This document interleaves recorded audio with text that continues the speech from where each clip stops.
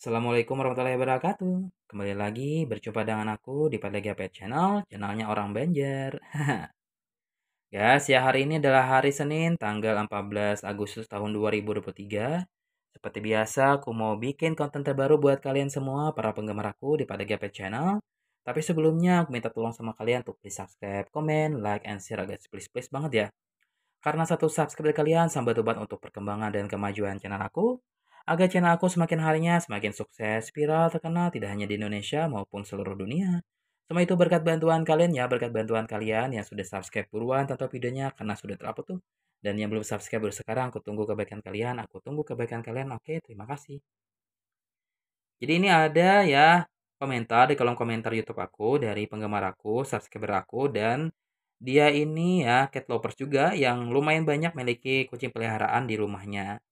Nah, beberapa di antaranya kucing ras, juga beberapa di antaranya itu ada kucing kampung. Nah, dari beberapa kucing terpeliharaan tersebut ternyata ya salah satu di antaranya itu anak kucingnya tersebut rentan terkena penyakit ya, tidak hanya di cuaca panas maupun cuaca dingin. Lalu si pemiliknya tersebut ya khawatir dan gelisah karena terlalu sering sakit ya. Dan dia bertanya kepada aku ya, Kakak, apakah kakak tahu alasan anak kucing ini, mudah banget terkena penyakit dan penyakitnya jenis apa? Ya, penyebabnya apa, ya solusinya bagaimana, dampak positif dan negatifnya apa, dan ya bagaimana cara mengobati atau menyembuhkan kucing yang mudah sakit gitu ya. Mohon jawabannya ya, Kak, ya. Wah, ini menurut aku pertanyaan sangat bagus untuk kita bahas pada video kali ini, tapi videonya ditonton sampai selesai dan jangan di-skip ya, oke?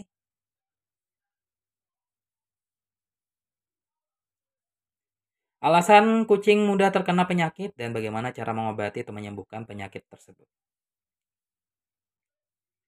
Nah, anak kucing ini sangatlah menggemaskan tingkah lakunya baik anak manusia, anak kucing pun seperti itu juga ya. Lumayan menggemaskan dan lucu banget.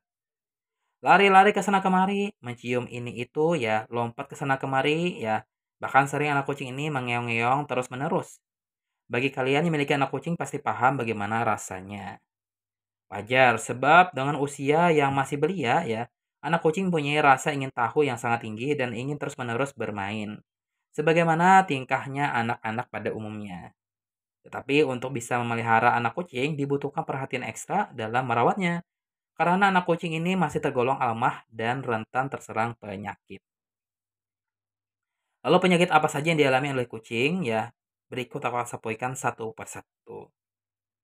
Oke, yang pertama itu parasit usus ya. Penyakit ini sering banget ditemukan pada setiap anak kucing. Parasit yang terdapat di usus anak kucing berupa cacing. Penyakit yang menyerang usus ini biasanya disebut cacingan. Nah, biasanya jenis cacingan tersebut adalah cacing gelang, cacing tambang, atau cacing pita. Cacing tersebut menempel di lapisan dinding usus anak kucing. Parasit ini memakan darah kucing, bahkan berkembang biak dengan mengeluarkan telurnya melalui kotoran kucing. Parasit ini mengkontaminasi anak kucing bisa melalui susu induknya atau lingkungannya, bahkan setelah si kucing keluar dari kandang induknya atau kandungan induknya. Gejala ini timbul dari cacingan ini biasanya berupa daya diare, berat badan berkurang, bahkan anemia. Dan juga bisa ditandai dengan perut yang mengalami kebuncitan atau berbadan kurus. Yang kedua, diare dan muntah-muntah. Anak kucing dapat mengalami sakit perut atau diare. Buruknya adalah bisa diare tersebut diikuti dengan muntah. Diare yang dialami oleh anak kucing ini bisa diakibatkan oleh parasit usus. Selain itu juga berhubungan dengan penyakit radang usus atau kontaminasi racun dan obat-obatan. Nah, pemberian makanan yang tidak tepat dan pola makan yang berubah-ubah juga dapat membuat anak kucing diare dan muntah. Gejala yang bisa dilihat dari anak kucing yang mengalami diare adalah frekuensi buang air besar yang meningkat. Tinja yang dikeluarkannya berbentuk cairan. Tentunya Hal tersebut membuat ya anak kucing kehilangan cairan yang menyebabkan kondisi fisiknya melemah. Kemudian ya akan mengalami dehidrasi. Nah, hal ini harus segera ditangani karena akan menyebabkan kematian pada anak kucing.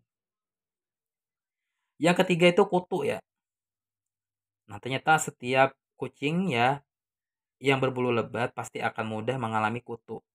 Kutu senang menyerang kucing, terutama anak kucing ya. Kutu tinggal di badan anak kucing dan bersembunyi di setiap lipatan kucing kulitnya ya dan bulu kucing yang lebat atau panjang. Kutu mengkonsumsi darah melalui kulit anak kucing sehingga hal ini akan menimbulkan anak kucing akan mengalami anemia. Selain itu juga ya, kutu dapat menyebabkan penyakit kulit lainnya. Nah, dalam penanganan kutu kucing dibutuhkan waktu yang panjang dan usaha yang ekstra. Maka dari itu ya, pencegahan yang lebih baik daripada pengobatan. Pencegahan sederhana bisa kalian lakukan untuk membersihkan setiap lingkungan kalian dan berada atau benda-benda di mana saat kucing beraktivitas. Selain itu juga meriksa secara rutin bulu kucing kalian. Yang keempat ini ya tungau telinga. Selain kutu, anak kucing juga sangat mudah terserang tungau telinga. Tungau telinga akan menyerang telinga anak kucing. Nah, anak kucing ini akan menderita terkena tungau tersebut yang dirasakan gatal-gatal pada telinganya, tidak jarang akan terjadi peradangan dan buruknya terjadi luka pada telinga anak kucing. Selain itu juga ya akan mengeluarkan semacam kotoran yang berwarna hitam atau coklat. Gejala yang timbul dari tungau ini ya menyerang anak kucing kalian sehingga sering menggaruk dan menggeleng-gelengkan kepalanya. Takutnya ini menjadi iritasi ya. Yang kelima ini saluran pernapasan atas. Jadi infeksi saluran pernapasan atas bagi anak kucing akan tampak jelas dengan anak kucing yang sering bersin-bersin. Bersin-bersin. Selain itu juga mengalami pilek dan matanya berair. Penyakit ini disebabkan oleh suatu bakteri atau virus seperti Pelen calicivirus dan Pelen herpesperos atau bakteri Chlamydia atau Bordel Bordetella. Bahkan jamur juga bisa membuat anak kucing mengalami penyakit ini. Kalian harus melakukan pengobatan ini melalui dokter hewan ya dan menyembuhkan penyakit ini. Sebab penyakit ini menularkan kepada anak kucing lainnya bahkan bisa menginfeksi kepada kucing dewasa lainnya. Lingkungan yang tidak bersih berpeluang penyakit ini menginfeksi anak kucing semakin besar. Pemulihan penyakit ini biasanya memakan waktu 1 sampai 2 minggu. Nah, ini ya penyakit ini ya yang sering-sering dialami oleh kucing yang dan juga bisa menjangkit ya dan bisa juga membuat kucing itu meninggal.